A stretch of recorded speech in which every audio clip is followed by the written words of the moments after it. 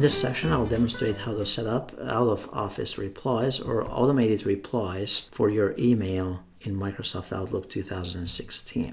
So suppose you're going on vacation for a week or two, hopefully two, right? We want to set up automatic replies. To do that, we go here under File, and then we go here under Automatic Replies.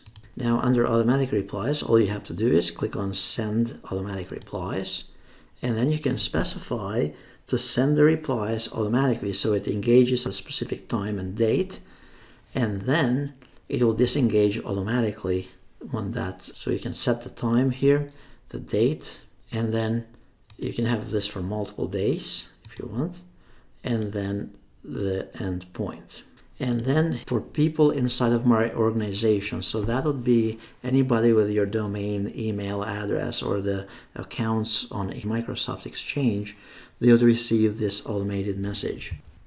So you type your message in there what you want to be sent automatically. You can copy this as well. And then for people outside of the organization you can choose whether to send automatic replies as well. And you can use the same one by pasting it in here. You can choose to send it to anyone outside of the organization or just contacts that are in your address book and such. Under rules here, you can choose to specify rules and conditions as well.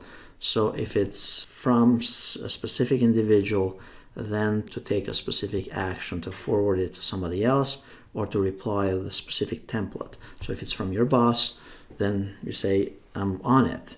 If it's from junk mail, then you can have a specific other template as well.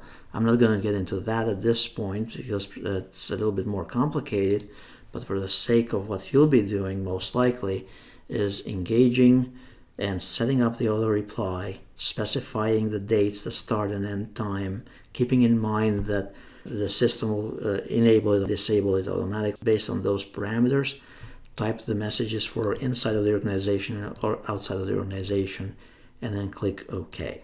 And now at this point, uh, the automatic reply has been configured. And when the time parameters kick in, it'll be automatically engaged.